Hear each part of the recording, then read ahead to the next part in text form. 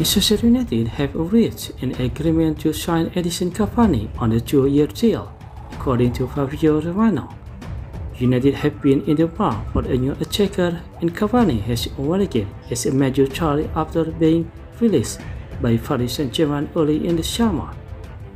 Cavani scored 200 goals in 201 games for PSG, adding to 153 more goals between his previous club. He will bring a wealth of experience to help younger forward like Marcus Rashford, Anthony Martial and Mason Greenwood. With no transfer fee to pay, all United have had to do is negotiate a contract with the Uruguayan international.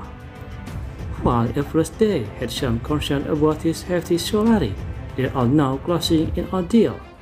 According to Romano, Cavani is currently signing the first part of his deal after United agreed peace with his agent.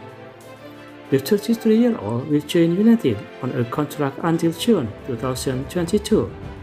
Cavani is expected to be one of the three that plan their signing for the Red Devil.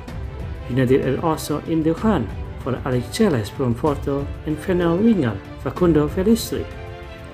Jose Mourinho has backed the impending arrival of Edinson Cavani to boost Manchester United fortune after leading Tottenham to a 6-1 win over them on Sunday. In one of many shocking results over the weekend, Mourinho Tottenham beat his old club by 5 goals in outrageous performance. But the ex-United boss team, signing Cavani will improve his former employer fortune.